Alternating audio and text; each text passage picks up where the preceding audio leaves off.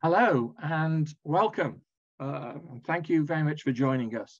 Welcome from me, Mike Scott in the UK, and from my joint convener, Sanford J. Ungar in Washington, DC, to the 26th jointly promoted event between the Future of the Humanities Project and the Free Speech Project. The latter is sponsored by Georgetown University and the former by Georgetown's Humanities Initiative in association with Campion Hall, Oxford and Las Casas Institute for Social Justice at Blackfriars Hall at Oxford. Together, the two projects consider issues concerning human dignity, rights, cultures, histories, traditions, and freedoms in a wide spectrum of educational activity, policy, expression, and aspiration. In a moment, I'll hand over to Sandy, who is director of the Free Speech Project. He will introduce today's distinguished guests and moderate the ensuing discussion before I return to chair the question and answer session. From the start, you can type in questions to the panel by using your Q&A button at the bottom of your screen. Please do not use the chat button, but the Q&A button. These will come to me during the session and I will try to arrange them in some kind of logical order uh, for the panel to consider. We urge you to start to ask your questions as and when they occur to you, uh, so that there's not a backlog at the end. So, hope you enjoy the discussion. Over to you, Sandy. Thanks very much, Mike. We have a, an excellent group of people assembled today. Unfortunately, at the last moment, one of our panelists, Leanne Davies, had to withdraw because of a family emergency. But we have Joel Brenner, who is a senior research fellow at the Massachusetts Institute of Technology, MIT, the Center for International Studies, where many great things and some mischief has been hacked, has been uh, hatched, not hacked, but hatched over the years. And uh, uh, Joel is author of the uh, recently published a few years ago book called America the Vulnerable to call attention to this set of problems. Also with us is Prajakta Jagdale, uh, who is on the West Coast in Palo Alto at the somewhat mysteriously named Palo Alto Network. She will perhaps explain to us just uh, what she and her company do there to uh, keep us safe and, and protect us. Uh, as well, we have Simon Rogerson from uh, a, a professor emeritus at De Montfort University in the United Kingdom in computer science and if it's not a uh, an oxymoron, computer ethics. Uh, and we will be very interested in knowing what what his field has contributed to this to this conversation over time. Uh, I, I'd like to start off for those of us who are not necessarily expert in the broad range of things that so-called hackers might do. That that word has arisen, of course, as a pejorative. Hackers uh, are commonly described as people who are messing things up, who are who are hacking into systems, making uh, charges to people's credit cards uh, in a fraudulent manner, and cutting off communications in a way that makes us uh, vulnerable. And uh, so I, I, I, suppose uh, we might start with Joel Brenner and ask him whether uh, hackers are primarily a menace to society, and uh, if so, uh, what the prospects are for for changing that profile in the near future. Thanks. The the, uh, the common perception, I think, of the word hacker is pejorative. Among computer scientists, it's anything but. Uh, anything but. Um, not only are there, because they're white hat hackers and black hat as opposed to black hat hackers, but hackers are people who work on hacking in around in I think hack around in networks would be a good way to put it um, to find vulnerabilities. Now th- there are lots of bad hackers. There are criminals who hack, um, and but there are people who are also doing computer research into vulnerabilities that and, and those people play a very important um, function if you ask primarily Sandy, you know, eh, that's what I don't know what that means. There are more people who do one or more people who do the other. Uh, let's just agree that, if we can, that there are people who do this um, for all kinds of mischievous and mischievous and criminal purposes, and people who are doing security work that's terribly important. Both are happening. Yeah, and I can yeah, Please, I can add yeah. a little bit uh, because I think it was also a, a good follow up to uh, you mentioned you know what Palo Alto Networks does and what I do at Palo Alto Networks. But uh, the company itself is a network security and cloud security services company. Uh, so they build uh, security solutions to to provide to our customers, whether that be um, the government, defense, or or just commercial customers as well. Uh, and within that, I'm part of the infosec um, team and especially on the uh, on the offensive security side. Now, this is this is more of a recent term, uh, offensive security, but it's supposed to be an umbrella term for everything that has to do with um, breaking into things.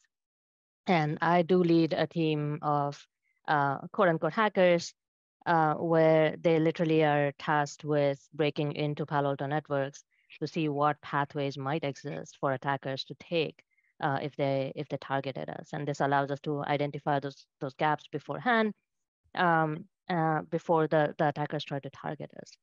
Uh, but not just that, the, the whole ethical hacking, uh, right, I would almost say industry is kind of uh, growing right now. We use um, consulting firms to, to break into our products, to identify bugs in our products. Uh, we have these things called bug bounty programs uh, where just independent researchers are allowed to submit any vulnerabilities that they have discovered in with con- consent of uh, of the software maker and earn money for for submitting those bugs. We also have vulnerability disclosure programs like Joel was mentioning, where somebody's just researching, discovered a bug, uh, and they can submit that bug to the to the relevant party to get it addressed.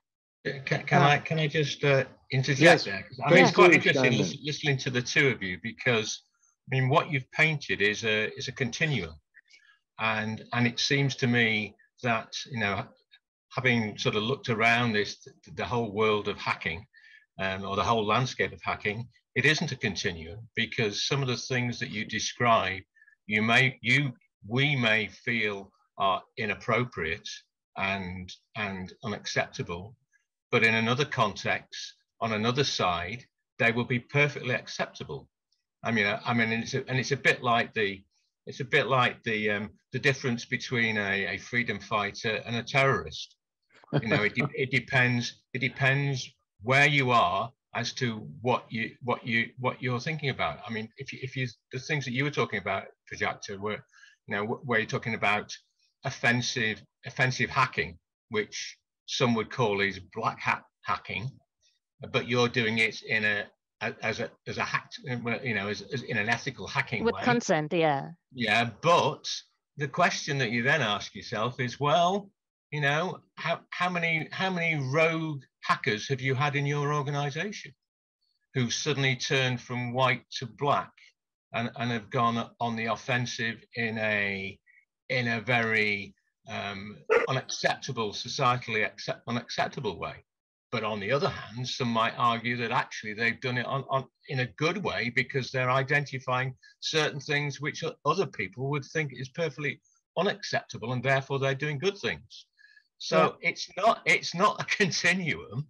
I mean, it is unbelievably complex in terms of how how you just think about these these the concept of hacking. It, you know, that's my take. Yeah. I think that's interesting, right? Because I think it has to do with uh, how our perception has evolved over time. Yes, when when the whole notion of hacking was was new, it was primarily looked at. You know, either there were pranksters or there were uh, maybe cyber criminals. Uh, but as as industry and governments have started realizing how essential it is to be that one step ahead of, of hackers, they've been trying to uh, form an ecosystem where people can do it for good um, and be able to make some some earning out of it while not turning to the dark side. So I think that's the that's the change that has uh, helped in more recent times. it might be useful to remember that when we talk about hacking, we're talking about computer trespass. And um, it, it's fine to say that people have different ideas about whether one ought to break the law or what one thinks about it in a particular case. And also fine to say that it, it, it differs from country to country. But in the country where one is, there's a legal regime. And the question then is um, does one have consent to do this? You could also ask couldn't it be useful, socially beneficial, to commit an unauthorized trespass? And the answer to that could be yes, just as might be socially useful to break any other law from time to time. But you do have a legal regime, and it's dangerous to forget that if you're if you're a hacker, for example, because you can get prosecuted for it. Now, practically speaking, in the United States, we don't prosecute people for hacking overseas unless it's in a friendly country. Why not? It's interesting, uh, partly because we think it's useful. Um, but if if one were to break into a network in France or the UK, for example, there'd be legal consequences if you get caught. But it's um, so it there, you know anyway. But, but, but hang, hang, hang, on, there, there are hackers and and, and, and well, they've used hacking to, to, to whistleblow and, and the, the American the American government have been after them and that's what that's why they're living in other countries at the moment. Um, so, so it isn't quite, it isn't quite as as as as uh, as favourable as perhaps perhaps you perhaps you make out, Joel. I don't know what you mean by favourable, but when you break into uh, and you're speaking presumably of, of Snowden, so let's yeah yeah yeah exactly yeah. When you break a law for what you what the lawbreaker perceives as an ethical reason, um, you you fall into one of two groups. You're either a rebel or a criminal, or you're a social, or you're a, a civil disobedient. Now we have a lot of theory of civil disobedience going back to Socrates, and right on through Thoreau, and Gandhi, and King. All four of those thinkers believe that if you're going to commit civil disobedience, you have to admit it and you have to stand the consequences for it. That's why Martin Luther King explained himself from a with a letter from the Birmingham jail, as opposed to Ed Snowden explaining himself through a press conference in the Moscow airport. That's why Ed's a criminal and Reverend King was a civil disobedient. Now, it's true, we're after the, the we, the United States government is after Snowden, um, partly because he's done things the public doesn't understand, including intentionally giving away the uh, mechanisms by which and the tools that the United States government used to um, uh, surveil the governments of, for example, Russia and China. I mean, one of the things Snowden did was to um, explain how we were getting into the networks used by the highest Russian leadership. That was in 2013. In 2014, when the Russians went into Ukraine and Crimea, it would have been really useful to have those accesses. Snowden destroyed that access. And that's why um, he's still out of the country. Prajakta how do you react to that? How do you react to that characterization? Um, one is I in Snowden's case, and, and this is where uh, when we think about terms uh, as they relate to to hacking, they're not standardized terms. What Snowden did, for instance, I wouldn't call hacking, right? It was he was just given access to a lot of things that maybe he shouldn't have, and he uh, exploited or abused that uh, that access. I do agree that, um, especially I think a little bit later, we're going to talk about hacktivism and things like that. Doing things without consent, um, even if your intent is great, you cannot predict what the collateral damage might be.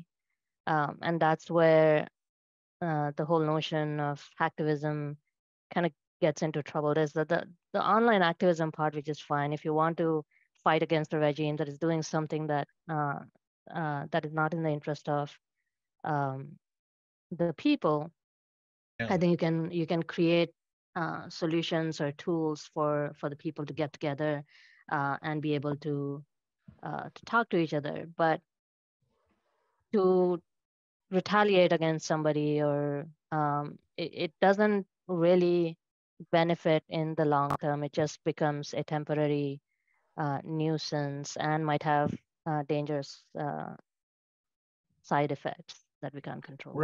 Roger, I'd like, I mean, Simon, I'd, I'd like to ask you this. Uh, I know you were going to say something, but is it, do we have a problem with communicating with the broad public about this issue? Because we, on the one hand, we want to teach young people, computer scientists and, and people just using their computers, not to do bad things with their mm-hmm. computers, not to make trouble, not to put people at risk and, and national security at risk and so on. On the other hand, are we saying, well, we'll wink at you and we'll we'll uh, not charge you with a crime if you use your somewhat sinister skills to help us out at a, at a, at a time of trouble? Well, um, well, I mean, I mean, it, I mean, it's it's very complicated. I think. I mean, if it just if it just start from the point of of, of the of the, the, the Snowden incident. I mean, the one thing you can say about it, you know, regardless of, of whether you take Joel's Joel's position of, of he was a criminal because he he actually let everybody know through the news, uh, rather than actually actually um, doing it in another way. The interesting thing about it is, and, and, and we've done we've done some worldwide um, research on this, is is that um, his very action and the very and, and the very the, the, the media coverage of it made people around the world much more aware of the dangers of hacking and and these these sorts these sorts of things that that, that, he was he was talking about. Now that in itself is is really interesting that, that you know the public at large is now more aware of it, which is what Prajakta was just talk, talking about. So that is that is that is a positive. And then and then then the other the other the other thing about about it is is that um, we shouldn't turn a blind eye to somebody who is who is is is is actually breaking into a system which fundamentally is what hacking is about. Um, but but I don't think we can generalize. I mean, and I think you have to think you have to look at at context. You have to look at motive, and, and, and a whole variety of things because on, on, on a case by case basis, um, things will be very different. And, and, and that, I mean, and, and the prime example of that currently, you know, is the horrendous situation in Ukraine. And, and there is a cyber war going on. On the one side, you've got Ukraine, who, who, who are trying to defend themselves through, through, through a whole variety of very sophisticated hacking techniques. And on the other, on the other side, you've got, you've got Russia who are trying to illegally invade a country and are using a whole variety of hacking techniques to help them do that. Now, here you've got exactly the same sorts of things going on on both sides. And where does that leave the issue of is it is it legally okay to, to, to, to do that? Now, I mean, for me, I would argue, from my from my perspective, I, I I believe that the Ukrainians are doing things which which are are ethically justifiable. Yet, on on what I know about the Russian situation uh, and the Russian leader, I find that what they're trying to do and how they're using using hacking techniques as immoral. Now, others, others, others may well take a completely different stance, and this is this is the, the ethical dilemmas across across cultures and, and, and countries, which this subject is is littered with. Well, you know, uh, uh, let's. I want to put aside the Ukraine situation, since I don't think very many people in the West, anyway, disagree at all with anything you said. The the the Ukrainians are not only ethically justified; they're justified under international law just as very little that the Russians are doing could possibly be justified under international law. But you are, I agree totally with you. This this matter is extremely complex, and that's why we've been unable in the United States to revise our statutes since the middle 70s because nobody can agree on how it should be done. So we're stuck with it happens to be section um, 230 of our criminal code, uh, which deals with computer trespass and so on. And we can't decide how to how to update it because Simon, just as you say, there there are so many complexities, so many situations in which we don't want to prosecute that, even though it looks like it might violate the law, and in other cases where we really do. And so we we are stuck with a um, what is a degree of prosecutorial discretion, that's to say, power in the hands of prosecutors to prosecute or not, that ordinarily would seem quite objectionable, but we're stuck with it. But, but, but, I mean, sorry, go, go on, Yeah, I was, uh, no, very, uh, so many interesting points about this. That's a, but to follow up on, on Joel's point, I'm also thinking like the breadth of what how many different ways hacking can be used um, is another problem. We were talking about citizens turning to to cyber war um, to, to support their nation versus um, criminals literally, you know, selling child pornography and, and illicit drugs and using uh, using internet for that, and obviously stealing stealing credentials and users' personal data and selling that on, the, on those same marketplaces and whatnot. Um, and so when you're trying to focus on what to go after, uh, the breadth is just tremendous. Uh, but the other point that also came to my mind um, when Simon, you were talking about uh, the, the Ukraine-Russia situation, M my point, I, I keep going back to you cannot, when you're talking about hacking, you it's very difficult to contain the impact. And we saw this when um, I was trying to remember uh, back to when Iran uh, nuclear power plants or nuclear reactors were targeted yeah. by. Uh, um, God, I can't, can't believe I forgot uh, the the name of that particular campaign. But the idea was that it was supposed to be targeted, and ultimately it ended up impacting globally. And so that's the that's the concern with taking the hacking or, or cyber war uh, approach, especially by citizens, because you cannot, it's very tough to contain uh, the impact of those things. I mean, just going back to the legislation bit, um, see, I, I, with with all these these ethical dilemmas across the technology, I think across the world we are addressing it we are addressing it in the wrong way because the legislative time timeline is totally misaligned with the digital technology timeline. So by the time, and you just, was it the 1970s you said, Joel, that you'd started this? That's okay. right. That's right. All right. Okay. So since the 1970s, we're probably talking about, I would say, a conservative guess is 25 generations of technology have come into play since since you started talking about it. So there's a total misalignment. So, so to actually get legislation to actually protect us in terms of how technology is used or abused is probably a non-starter. You can do it retrospectively and you can catch a few people, but but you know, but but there's a lot of people who will have been hurt prior to that. So, yeah. so my, my, my thought is, is that actually we should start in a completely different way.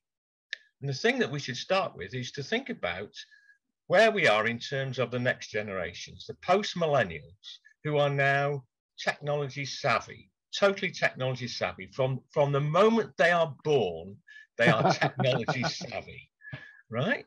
So what we should be doing, and, and you could you could build this into into legislation in every country, is that the education system in every country starts off with before they teach them about technology you start with with the whole idea of looking at the the ethical and social dimensions of technology and the ramifications of it so that they understand and and as second nature they understand the difference between right and wrong in terms of using technology and as soon as you've got that in place the vast majority of people know that they're you know, whether something they're doing something right or wrong. Vast majority of people, they might still want to do things which are wrong, which is fair enough. Um, you know, and, and you can use law to actually sort those sorts of people out. But that is what we've we haven't done. You know, and you've got university courses which are teaching people how to hack, and the vast majority of them don't actually teach them about computer ethics, which is totally and utterly unacceptable in my view. I, I, I totally... Could I just get in for a second, Joe? Because I'm intrigued by this notion of a national dilemma in each country on how to deal with these things. But then, how on earth would we ever get an international regime where people would, uh, where one country would be congruent with another on on how to deal with it? It, it sounds mind-boggling in its complexity. Yeah, I agree with you. I totally agree with you. I mean, I didn't say this was easy, but the legislation, this legislation hasn't worked. So why don't we try something else? well, you, you know, I, I I'm quite sympathetic with that point of view, Simon, and, and we could do a much better job of training. Though in the end, people have different views about what's right and wrong, which you and Prajakta said early in our own session. Um, Sandy's put his finger on something terribly important. Look, if we had, we don't have a hacking problem from France or Denmark because those countries have laws that are more or less similar to ours and yours in the UK, and they enforce them. We have problems with hack. We used to have a big hacking problem from Ukraine into the West. We don't have that anymore. And probably we're not going to have that again. But we have a huge problem from Russia, China, and from places where they don't enforce laws, like in, in Lagos in Nigeria. And, and so we, in many cases, we know who those people are. And in many cases, the governments in those countries can do know or can know who they are and do nothing about them. That's the problem we're stuck with. Because Sandy, we've tried, our diplomats have tried to forge, um, you know, in an international consensus, and and we've been utterly unable to do that. The Russians and the Chinese, for example, will not negotiate over the term security unless it includes their view that security includes being able to control the communications across their borders. So their view of security is inconsistent with our view of free speech. That's how fundamentally we failed hmm. in international negotiations. And if the think... if the legislative process is slow, the diplomatic one is certainly no faster. uh, but I think the the challenge I mean, legislative challenges aside, there's also the the problem with the technology challenges as well, right? Um, when when major threat campaigns uh, come to light, and the threat intelligence committee community is trying to figure out well who is behind it, and attribution of something is extremely challenging um, in in this this global um, ecosystem that is the internet because um, there's so many different ways to uh, spoof where you're coming from. And that's probably not going to go away anytime soon, um, especially now when there are uh, groups that are just hackers for hires. Um, you no longer necessarily have to rely on your on your local uh, obviously not talking about nation state actor groups which is they're always going to be uh, local threat actors but uh, that adds another sort of more technological problem to how do you actually bring the right people to justice Prajakta, your team is called the Red Team at Palo Alto yes. Networks, right? Can you describe just what is that is that meant to alarm us that you're the head of the red team?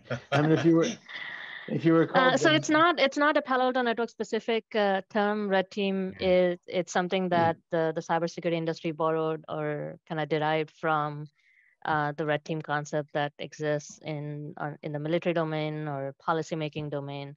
Uh, but the idea is just play the role of devil's advocate. Uh, what that means in the cybersecurity industry is um, we are assuming that we have all the right security controls in place. The attackers cannot get to um, the crown jewels that we are trying to protect. The, the red team is meant to be that last uh, check to see if that's true, and they typically are pretty aware of what uh, techniques and tactics uh, attackers are known to use, and they'll try to use the same against uh, their own uh, company or a company that that uh, has hired them. Uh, but the idea is just just be the attackers and, and beat them at their their own game by being by being a step ahead. So not I mean, meant to be scary at all. Um, it's pretty fun actually. How how do you protect their identity? Because they uh, are. We don't have are, to. But but I would have thought there would be there would be black hat organisations who would dearly love to use those people.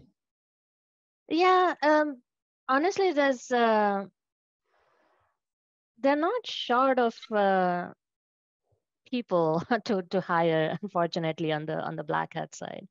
Uh, mm. And technically, like anybody who has chosen the route of uh, red teaming or pen testing, penetration testing, uh, they they did it for the exact reason. They they love the the creative art of breaking into things, but absolutely they do not want uh, to use that for nefarious reasons. And now they have this uh, this avenue of using those those skills and uh, pursuing those uh, those skills in a legitimate form. So uh, when I specifically interview people, um, obviously we we assess for their uh, their view on ethics and all that stuff, um, but never really had that inkling that these would be the people that would choose to turn to the to the dark side? Well, no, I was just meaning, and when I said how do you protect their identity, it was just I was meaning from the point of view of if if um, I mean you, you're doing this you're doing this webinar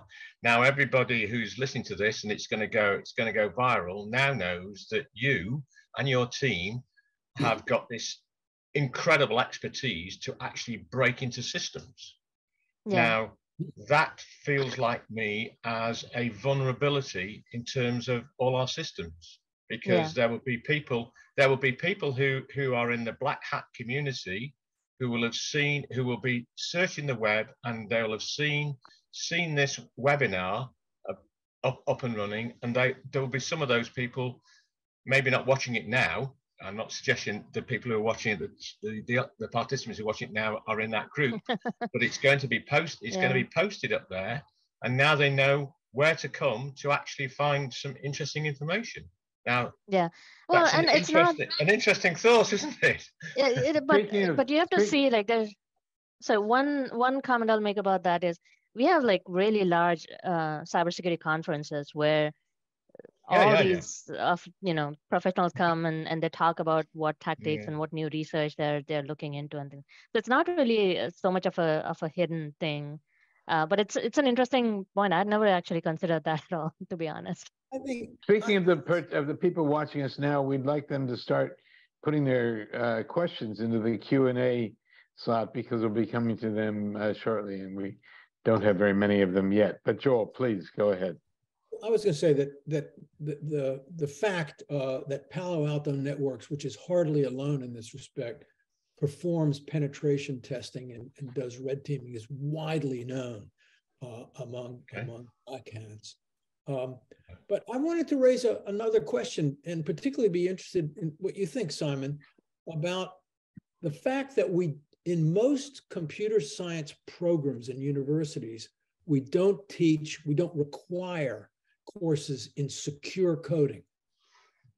And, you know, the code that people use, it, most of the time you're not writing code from scratch.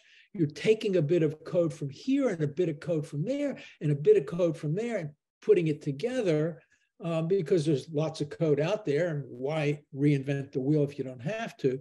And so the truth of the matter, of the matter is that we don't know where a lot of code comes from that goes into even very uh, important systems.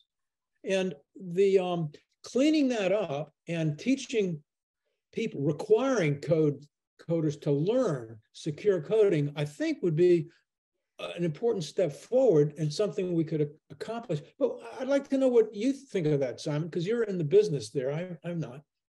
Um, I think that is a really interesting point because um, Well, certainly in, in the states, um, one of the things that I was I was in, in, involved in quite some time ago was developing the the ACM IEEE CS co Code of Ethics and Professional Practice for Software Engineering. Okay, now and the rollout of that was was that this was trying to get software engineering uh, degree courses to, to actually take on board these sorts of issues. And one of the things we talked about was it had to be pragmatic in terms of the approach. Now, what you've just described strikes me as totally aligned with with with with that thinking and that philosophy in yes. in that that you know you not only you not only look at the ramifications of the design, but also you look at look at the ramifications of, of how you're actually going to going to going to put that design into practice through through coding. Right. And and so so I could see a re really interesting and it, a very interesting um, process going on whereby that could really work well in terms of actually linking the because software engineers don't they like to cut code and, and, you know and hack hack and stuff you know hacking in, in the broadest sense. Yeah. um, and, and and and they don't like to talk about ethics and stuff like that because that's all mamby pamby and flowery and fluttery and stuff. Whereas what you've just described would actually act as a really good way of linking those two things together. And that you know, and, and, and I would, I would, you know, if anybody's listening here who, who's in into who's who's who's doing who's, who's in academia and start to think about doing new courses, I would suggest that they try and fit those two things together because I think that's a great idea, Joe. Oh, good. I'm, I'm glad you see it that way too. Um, I mean, one of the things about our code, and I ought to say I've not written a line of code in my life, and I'm not capable of doing. I spend a lot of time with people who do is that our code is in many cases really complicated and convoluted. And um, complexity is the enemy of security. Simplicity is the friend of security. If you have simple code and somebody messes with it, it becomes more transparent. You can see it. It's harder to find. Um, yeah, that's true. right.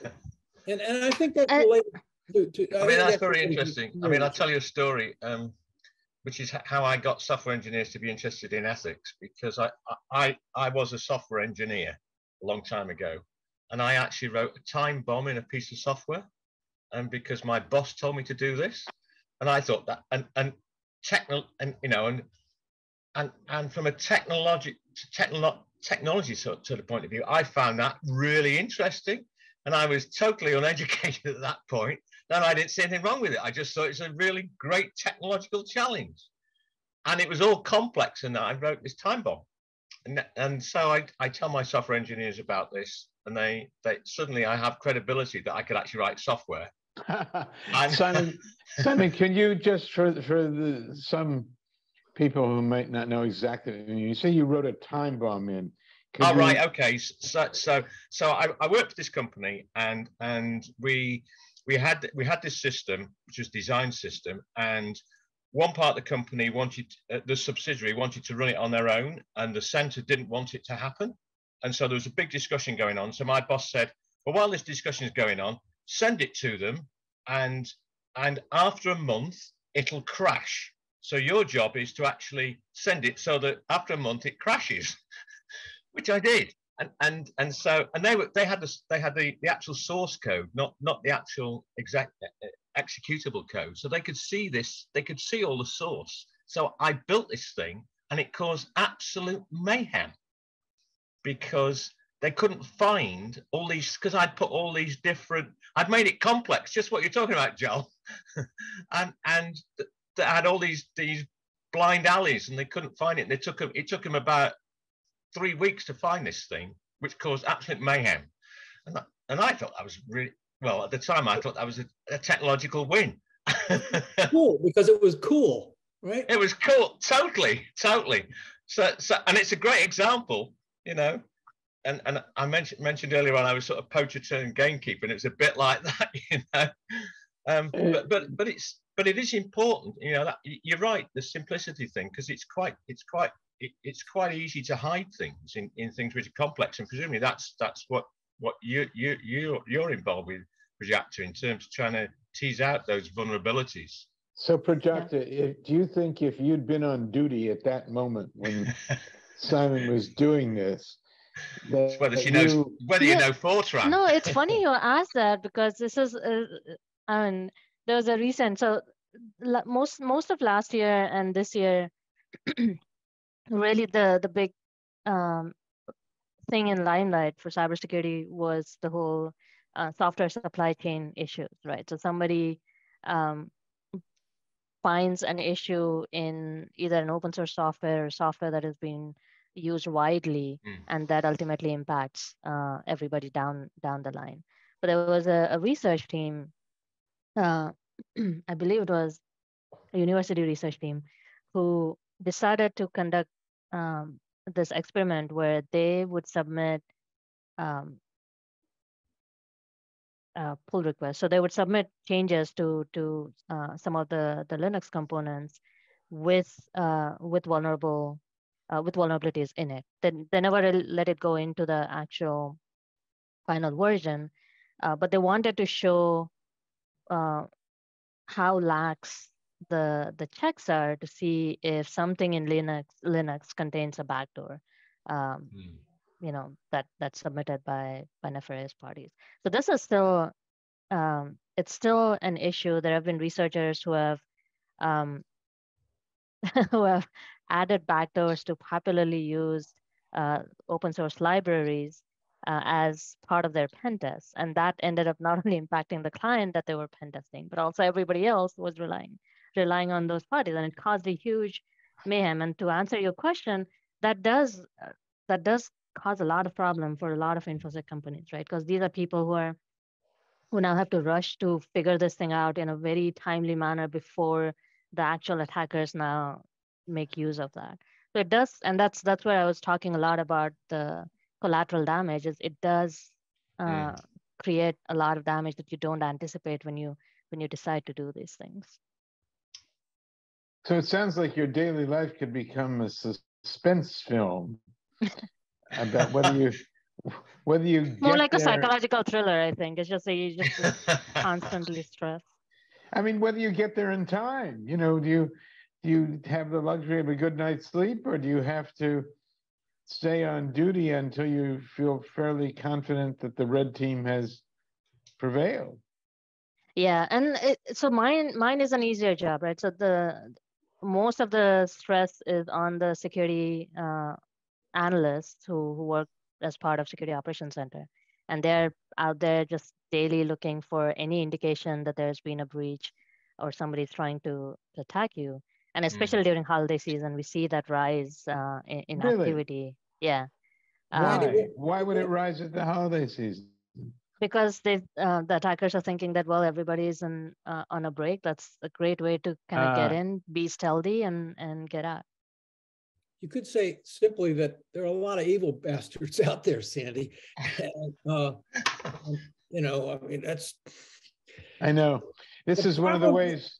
the problem that Prajakta is talking about, though, is not the problem of finding the a vulnerability in your own network and patching it in time. It's the bigger problem socially is when Microsoft or anybody else with a widely used bit of software announces a patch. They've found a vulnerability, it's widespread in the whole society, and they announce a patch. Here's how you fix it. Do it right away the black hats are watching for that. And the fact is that most they will act faster than most people will act in applying the patch. If you, you see what I'm 100%, saying? 100%. Yep. This is this is this is where a lot of the real vulnerabilities are. After you after the maker of the software discovers the vulnerability and announces the patch, that's when the real race begins.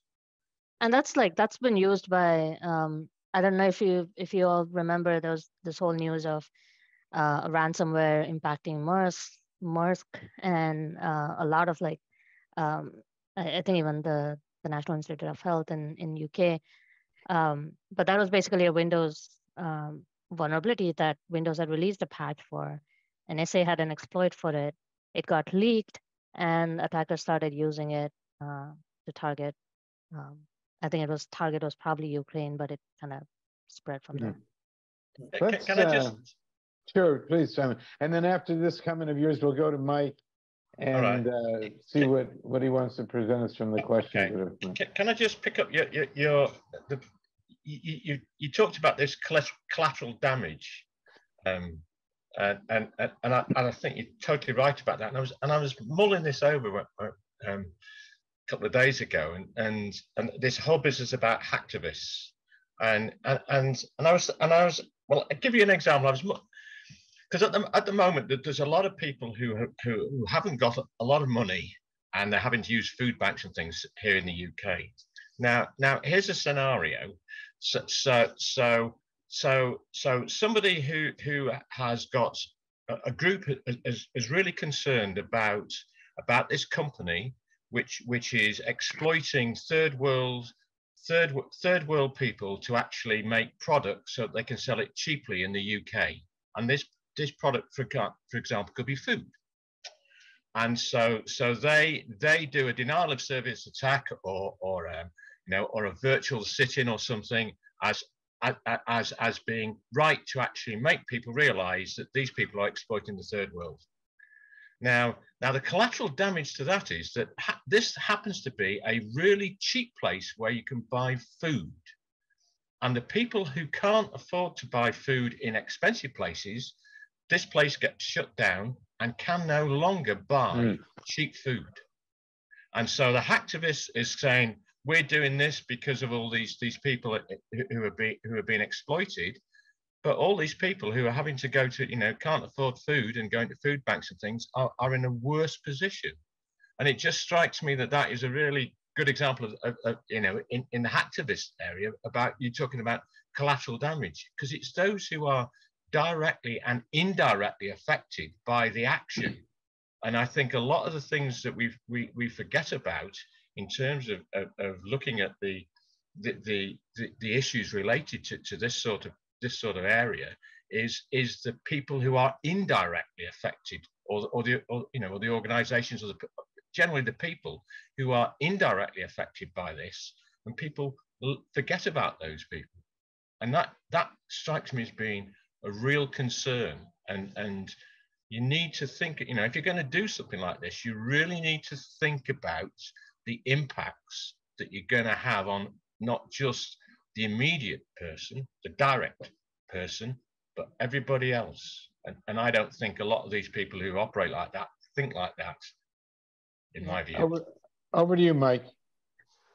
Okay thank you. I've had a few questions in. Um, Actually, uh, back to you, Simon, because there's a question from Eric, who doesn't give me his second name. Uh, perhaps, I don't think he's a hacker, but anyway, Eric says, hacking is basically breaking, uh, Mr. Rogerson, he says, says that hacking is basically breaking into a system. I think this is incorrect. Hacking is about trying to make a program or a system do something unexpected. Sometimes that results in access, sometimes just information leakage. Have you any thoughts on that? Well, the, the, the, my understanding of the, whole concept of hacking is, is that you are fundamentally going to break into a system, which is what Prajakta does for a job. Um, and and the question that you you know th there's a whole raft of ethical issues around that in terms of of the legality, you know, the reason for it, um, and, and the, the, the, implications um, and and the the motive the motive behind it. And so so I, I don't you know what is the outcome of the hack? I mean, it could be lost data, it could be financial gain, it could be a whole variety of things. So so I'm not too sure. I'm not too sure that we you know in terms of of the the nuances of the outcomes we need we need you know that's that's not the issue. It, it is it is the actual act of hacking and, and, and the reasons behind it, which I think are, are the most important things from, from, from, a, from an ethical ethical point of view, I think. Um, but that's quite tricky. I don't know if anybody else has got any, any thoughts on no, that. No, I think the, so it's hard to tell uh, what, uh, what the question's yeah, intent yeah. was, but in terms of what they said is, yeah, hacking, breaking into, just trying to get a, a piece of software program to do something that it wasn't intended to do. That's absolutely accurate. And when we say, mm-hmm. at least when I say breaking into, typically the way they somebody breaks into it is by making some piece of software or network uh, behave in a way that it shouldn't have. Uh, so there's no there's no doubt about about the accuracy of that uh, that particular statement, but not sure what uh, what the intent. But, but it's it's it's it's the ethical justification, Correct. which is the important yeah. thing, is as, uh, for for doing the hacking, because you know I mean because from an ethics point of view, there's there's the it's you know what you do is perfectly you know it's ethically justified because because yeah. of the nature of how that's been set up. But yeah, and that's a good point. I forgot about the whole um, it could be data leakage or yeah regardless of the outcome i uh, absolutely agreed what is what is the the intent of of getting yeah. to that outcome is important from yeah. a from I think it's important point. to separate the motivations for the act from the definition of the act um, i mm. agree with the questioner um, that basically when one is penetrating a system you want to make it do something it wasn't designed to do for some reason or other. But the in order to make it do something it wasn't designed to do, you have to break into the system. Um, and so I think the question runs together the motivation with the act, and that it's just useful to have a definition of the act that's separate from the motivation. Yeah, mm. very good point.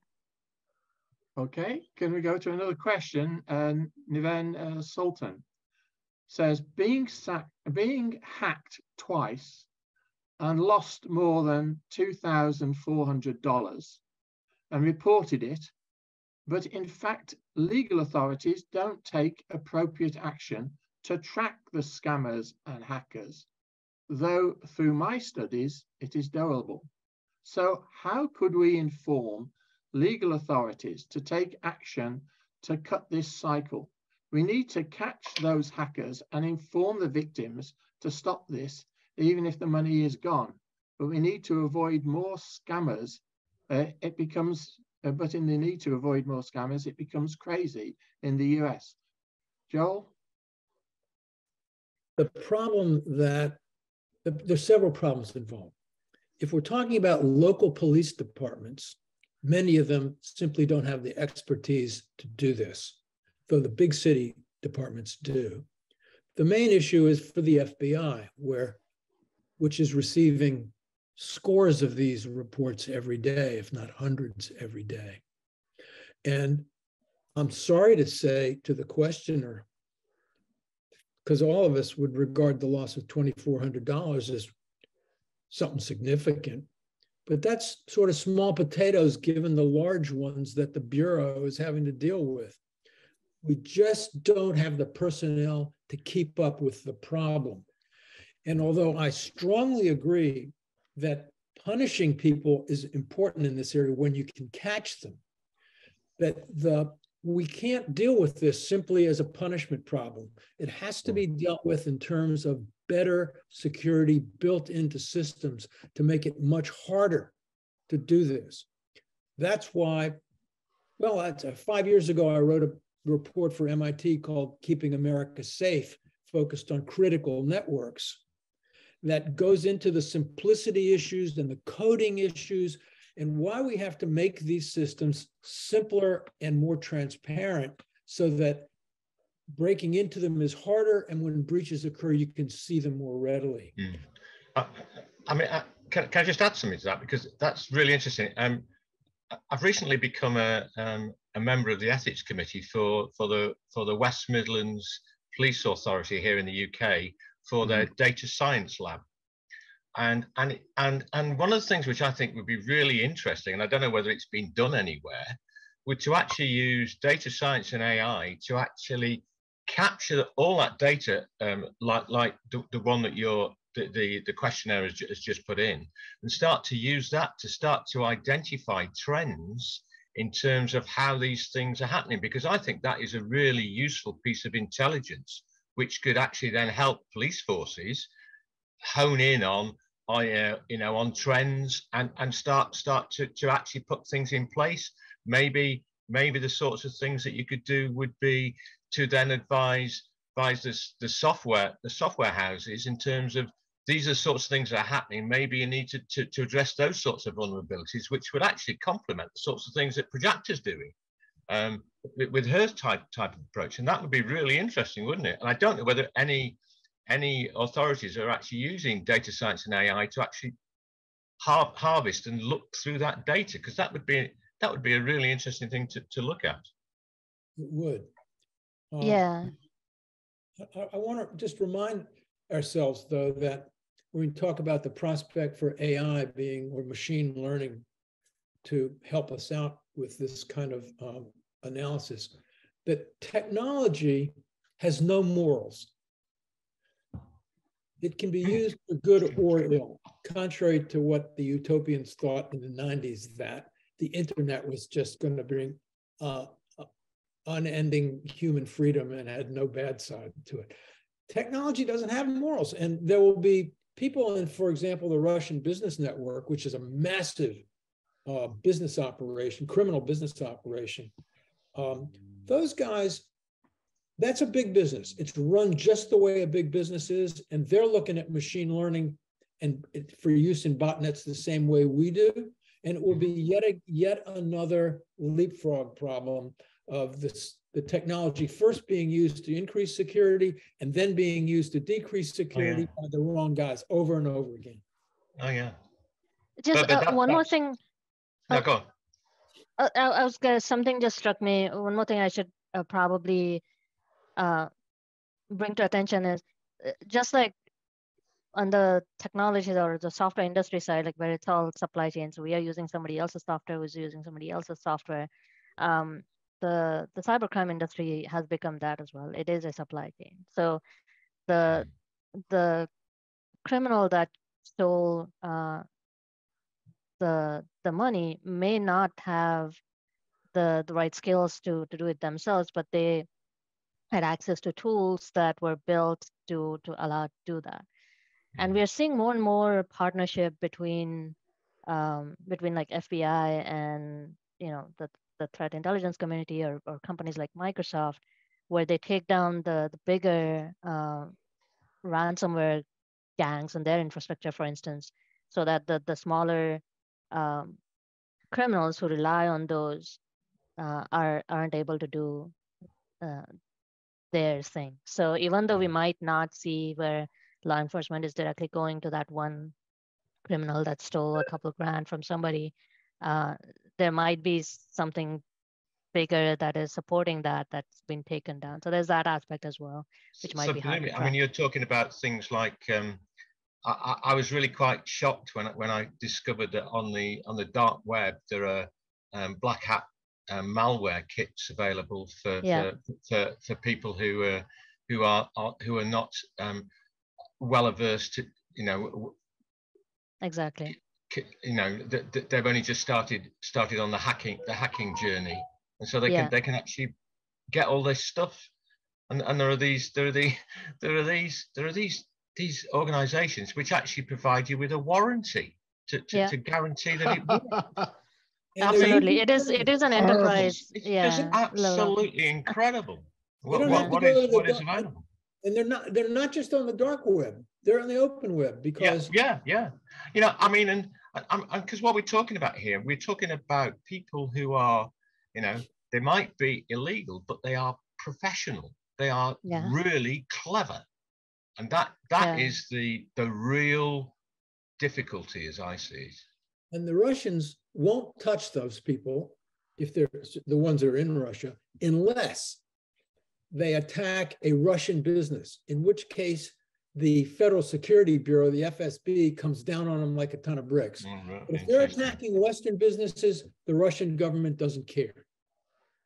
That's the root of the problem. Mm. Okay, um, Betsy Page Sigman says, um, uh, going on from what you've been talking about, who is doing the best work in automatically alerting systems today? In order automatically alerting about breaches for protection. For protection. She started to what extent can many of these protections we are trying to create be created by AI, who is doing the best work in automatically alerting systems today? Yeah, I um, it, it would be hard to say this is the best player or something, but many. Uh, I'll I'll talk more on the on the commercial side, um, but many companies do heavily uh, use machine learning these days um, to detect what is malicious and what is not, and that's primarily because uh, the attackers are so uh, smart and intelligent in in using what seems like uh, your regular activity to nefarious things, and it and so the the frequency at which these things are built, it's impossible for humans to keep up. So we we are pretty much uh, reliant on machine learning to do these things. Now, for now, it depends if you're talking about like consumer uh, protections versus uh, enterprise protections. On the consumer side, for instance, if you're using Microsoft, um, Microsoft builds Windows Defender, which is an amazing piece of software that does a really good job of trying to uh, make sure that your your laptop isn't isn't getting hacked. Um, most most financial uh, institution or banks, uh, credit card companies will have pretty advanced, excuse me, pretty advanced fraud detection type capabilities, again, built on, on data analysis and, and machine learning to see if some, some uh, anonymous activities happening against your account. So there's, there's definitely, there's more and more happening. You think about Apple ecosystem where they, they introduced the, the touch ID things, the bio, uh, biometric authenticators and things like that uh, those are things that are really helping us get better at protecting ourselves. Um, it would be hard for me to pick one player, but as an industry, I see uh, just a lot of things happening that that are good from a from a cybersecurity perspective. One aspect of what Prajakta was talking about, I think, is not well understood, perhaps by some of our listeners, and that is to an increasing degree. Not only um, breaking in, but um, countering break ins involves machines talking to machines, not people talking to people, not machines talking to people or people talking to machines, but machines talking to machines and machines making decisions about what to do. Um, Is that meant to reassure us, Joel? No. Um, it it it um, it, it's um, can be frightening. It is the nature of AI, which you know is artificial intelligence, which will mean machines. Uh, if you can, this is theoretical at this point, but acting like human beings, making judgments like human beings. Uh, I don't think actually the reality that we're dealing with now is frightening, Sandy, in the way that it could be.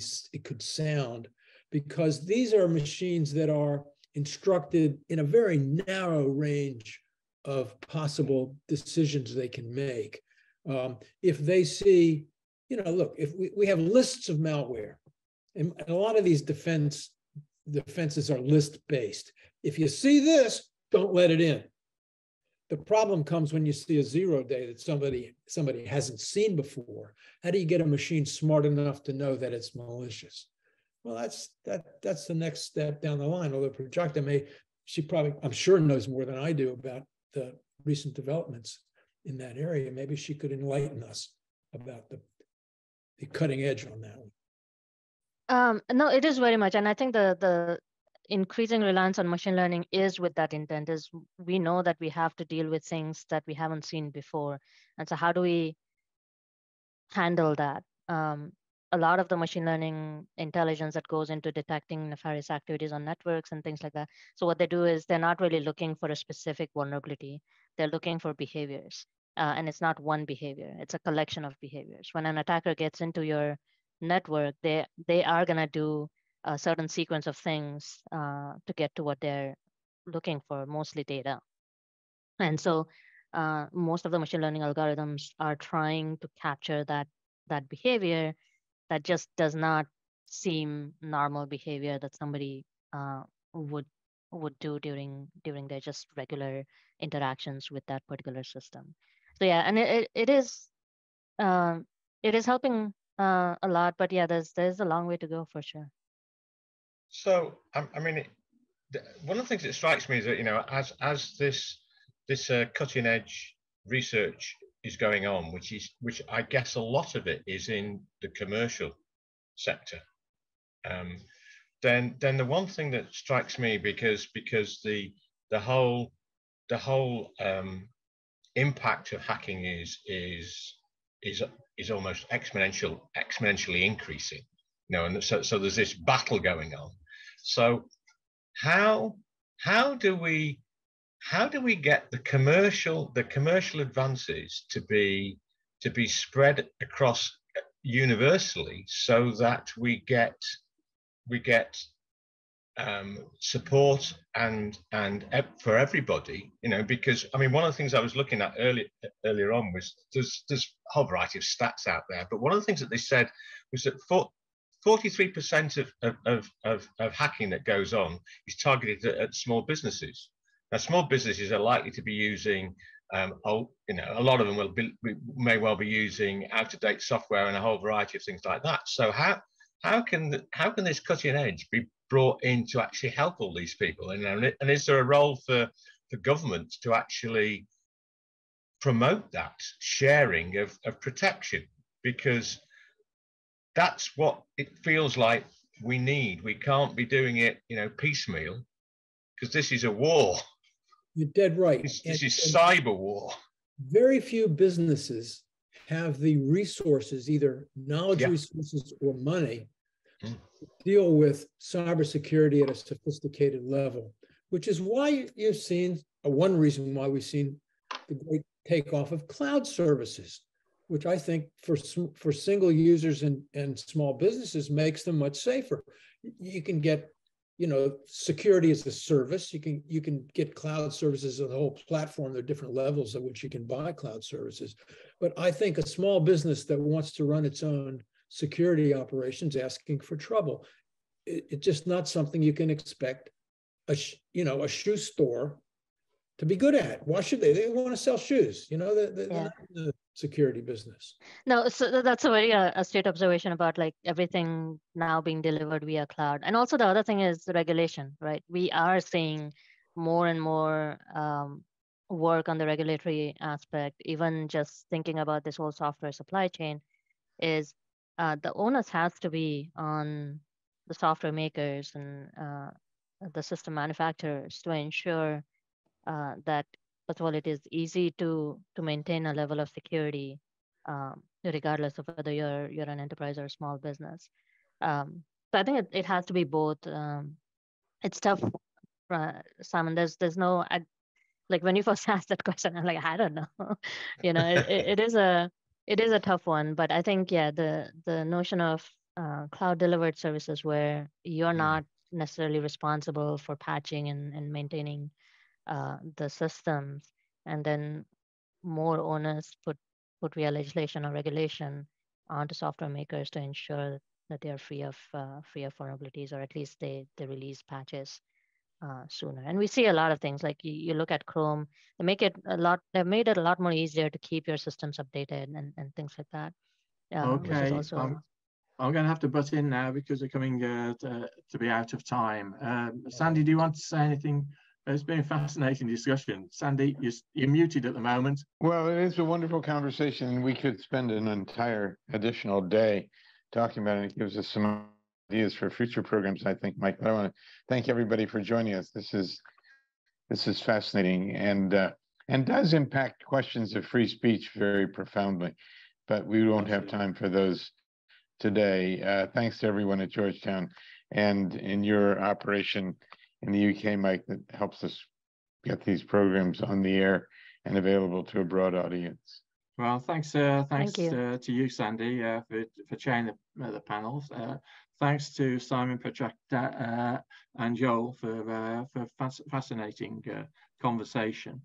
The next uh, Free Speech Projects and uh, Crossroads International Dialogues event in association with the Future of the Humanities Project will be on Monday, the 23rd of January, and we'll be discussing climate change, especially after COP17, so uh, 27, sorry. Uh, so that's uh, discussing climate change. I'd like to mention also the first event next term in the Bent and Beautiful World Literature Arts and the Environment series will be on Tuesday, the 24th of January with Adrienne Gali from New York, uh, who will be asking you the question, what does biodiversity look, loss feel like? What does biodiversity loss feel like? Uh, currently, next week, uh, we have the uh, Christian Literary Imagination Symposium and Conference. Uh, I'm afraid all that, all the, all the, the spaces have, have gone for that. Um, but if you are interested, we still do have a waiting list. Um, that's particularly for the people in the UK, but uh, I'm looking forward to welcoming people to Oxford from uh, from the United States. I know people are coming in uh, this week indeed, so I'm I'm looking forward greatly to that. Thanks to everybody at uh, at Georgetown. Thanks to those people at Blackfriars, John O'Connor, Richard Finn, uh, Campion Hall, Nick Austin, uh, Vanessa Hack, and Ying Ying. Thanks, as always, to John McCabe and colleagues at Georgetown who have made this Zoom happen. Laura Lees, my publicist, and also Maggie Scott for all the work she does for, for these uh, various series. Um, thank you for asking questions today. Uh, I think the, the, we had a good debate on those questions, so thank you very much. And thanks everybody for attending. Uh, I'm Mike Scott, Fellow and Senior Dean at Blackfriars Hall, Oxford. So one other thing to say is this is the last one before Christmas. So we wish you all a happy Christmas and a good new year. Thank you all very much.